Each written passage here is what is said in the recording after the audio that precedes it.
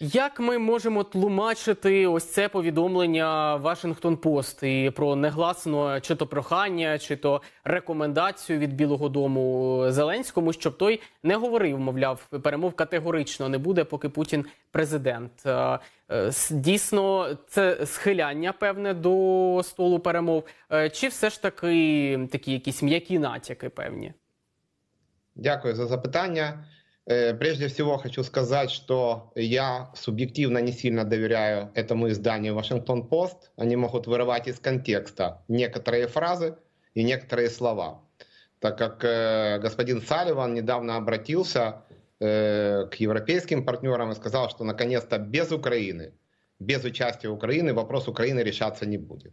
Во-вторых, если даже такое и было, если администрация президента Байдена хочет посадить Россию и Украину за стол переговоров, то э, переговоры возможны только в одном случае – принятие капитуляции э, Российской Федерации. То есть, потому что э, сравнить я могу это э, с 2001 годом и с атакой террориста номер один на тот, э, на тот момент Усама бен Ладена на американские башни. Тогда погибло людей гораздо меньше, чем гибнет сейчас в Украине, и разрушены были только башни. А сейчас разрушено 40% инфраструктуры Украины. Поэтому террорист номер один сейчас является Владимир Путин. И почему-то тогда, по-моему, Джордж Буш был президентом, его Вашингтон-Пост не сажала за переговоры, за стол переговоров с Усаном бен Ладеном. За ним начали охотиться и в конце концов убили. То есть террориста номер один ждет только смерть или Гаагский трибунал. Поэтому президент Зеленский полностью прав, что отказывается от переговоров с террористом номер один. Потому что если э, и надо вести переговоры, то вести надо переговоры нам с администрацией президента Байдена о том, чтобы эта администрация не склоняла нас к переговорам с террористом номер один, а дала необходимое вооружение наступательное, чтобы мы могли очень быстро покончить с этой террористической структурой. Если кто-то задает вопрос, так Бен Ладен не был президентом, а господин Путин, извините, не могу назвать его господином, а вот это вот Путин президент, так это еще хуже. И если страны Европы, Латинской Америки и Африки говорят, что нет у них э, продуктов, начинается голод и нету топлива, так э, в этом виновата не Украина, а в этом виноват э, террорист номер один Путин. Поэтому влиять надо на террористическое государство и ограничить полностью общение э, России со всем миром. Поэтому господин Шольц и господин Макрон должны перестать звонить и пытаться э, чего-то выяснять у, у этого так называемого человека.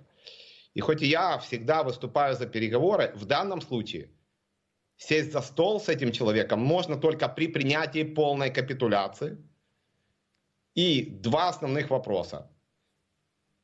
Военные преступники должны пристать перед международным трибуналом, неважно в каком городе. И второе, репарации и полная компенсация э, того и э, инфраструктуры, и э, человеческих жизней. Э, потому что это будет гораздо больше, чем то, что платила Германия после Второй мировой войны. Дякую за відповідь. От ви сказали, що не дуже довіряєте Вашингтон Пост. Вони, мовляв, могли з контексту вирвати. А це може бути якась гонитва за там ексклюзивом, до прикладу, чи замовна історія? Мне кажется, скорее всего, что это заказная история, и работают над этим лоббисты российские в Америке.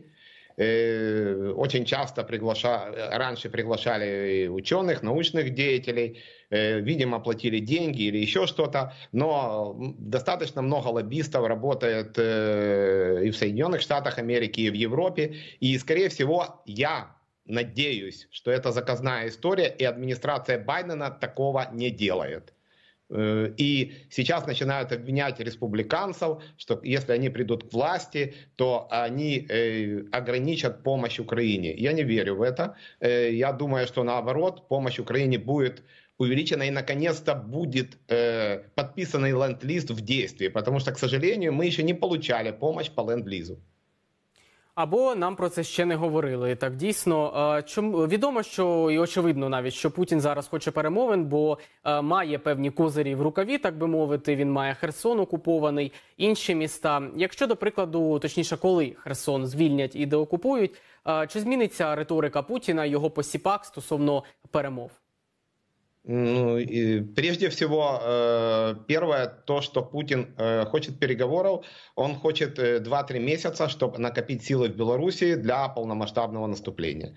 И это уже не секрет. И только из-за этого переговоры нельзя начинать именно, именно сейчас. Ну, конечно, кроме безоговорочной капитуляции, вывода всех войск и так далее и тому подобное.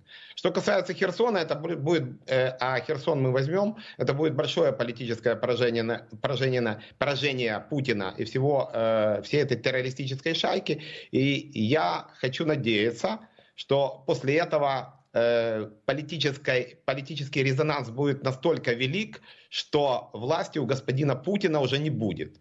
И, скорее всего, э, будет смена власти, и это даст возможность э, уже э, влиять и э, у, Украине наконец-то на то, что будет твориться в России. Потому что наконец-то мы должны влиять а не э, участвовать э, каким-то пассивным игроком в переговорах между Америкой и Россией, как это было раньше, как, как ну знаете, как пассивно, принимая участие, не принимая при этом участие. Как бы так, такая тавтология. Наконец-то мы будем основной стороной переговоров после того, как будет взят Херсон. Е, після того як Росія програє остаточно у цій війні е, щодо перемов, от е, чи зміниться позиція? По перше, не факт, що прийде до влади хтось більш адекватний ніж Путін. Хоча, мабуть, менш адекватного зараз важко у світі знайти. Я про те, що чи буде з ким говорити, і чи складеться ситуація, за якої у його наступника просто не буде вибору, яку б він собі там ціль і бачення світу мав. Конечно, тот, кто придет после Путина, ему придется вывести войска, зафиксировать границы 90, 1991 года. Однако бы я не доверял любому представителю России, потому что у них останутся имперские э, желания, имперские традиции, и пока у России будет ядерное оружие, пока ее мировое сообщество не лишит ядерного оружия, Россия будет представлять опасность для всего мира. А то, что европейские страны беспокоятся, что война затянулась, так им надо беспокоиться за то, что если сейчас, не дай бог, будет подписано какое-то соглашение, оно не будет подписано благодаря нашему президенту, то странам Европы э, грозит большая опасность, чем то, что война продлится еще 2-3 месяца до нашей полной победы.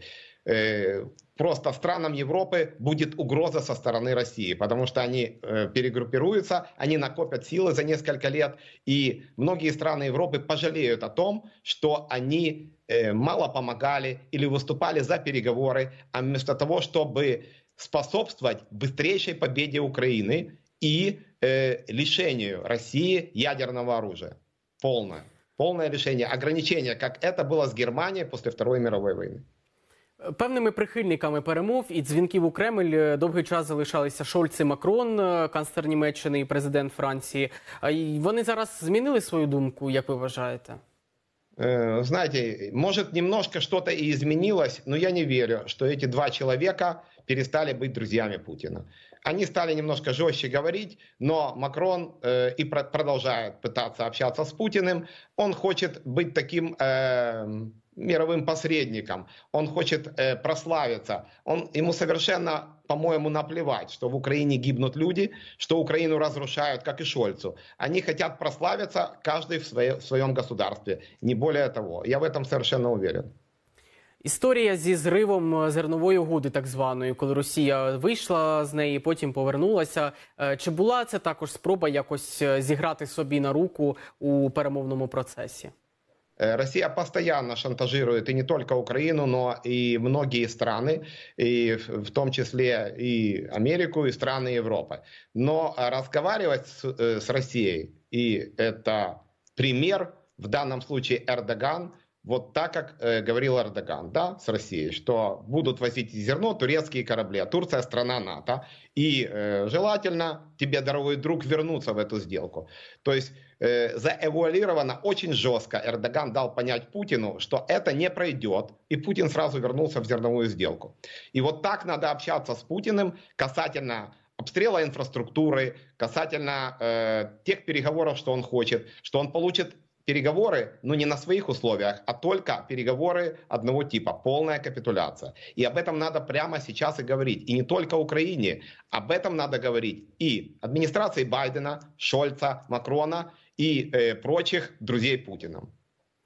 Стосовно емоційно-психологічного стану Путіна, от е, говорять, що такої розгубленості, як до прикладу була у Гітлера наприкінці 44-го року, не було іще у нього відповідно. І е, як це може вплинути на перемовний процес? Чи може дійсно Путін іще е, за себе живого і за е, під час проведення війни е, все ж таки до прикладу підписати капітуляцію? Це може бути реальним сценарієм?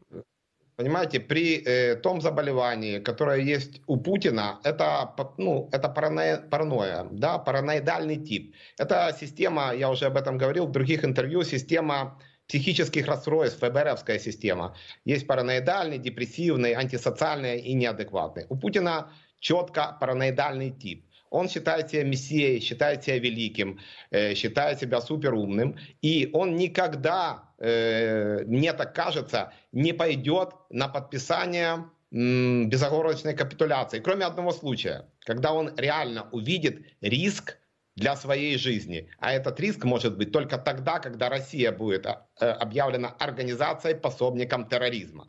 Тогда Путин на Путина начнут охотиться, и тогда будет угроза его жизни. И только тогда можно попытаться заставить его подписать безоговорочную капитуляцию. До этих пор он не оставит своих пожеланий захватить всю Украину. Всю, не только коридор крымский, не только... Он даже будет готов отойти от Херсона, отдать Запорожскую область, чтобы только сесть за стол переговоров. Но потом он накопит силы, перегруппируется, и пусть через год, но опять нападет на Украину, и тогда уже пострадает не только Украина, но и страны Европы. Поэтому переговоров, кроме безоговорочной капитуляции, быть не должно. И Россия должна, ну, должна э, объявлена страной пособником терроризма. Пане Вадиме, наост... наостанок запитаю, Кремль зацікавлений у перемовах все ж таки з Києвом чи Заходом, з Сполученими Штатами, з європейськими державами? Бо останнім часом складається враження, що саме з другим. Э, Путину дали понять именно администрация Байдена, господин Салливан, я так понимаю, может быть, я ошибаюсь, что без участия Украины переговоры об Украине вестись не будут. Поэтому э, Путин может вести теперь переговоры только с Украиной. А Украина и Владимир Зеленский правильный указ подписал, что с господином Путиным переговоры вестись не будут, потому что после того, как с 10 октября начались обстрелы инфраструктуры, и после того, как были проведены фейковые референдумы на аннексированных территориях, в том числе и в Херсоне, я полностью в данном случае согласен с нашим президентом. Когда я не согласен, я так и говорю, я не боюсь. В данном случае согласен, переговоры с ним вестись не будут. А Запад и Америка не имеют права вести переговоры с Россией об Украине без участия Украины. Пане Вадиме, дякую, що знайшли час. Долучились до нашого ефіру. Поговорили зі мною про перемови з Російською Федерацією, точніше їхньою відсутністю. Вадим Рахліц, кризовий перемовник і медіатор, був із нами на прямому зв'язку.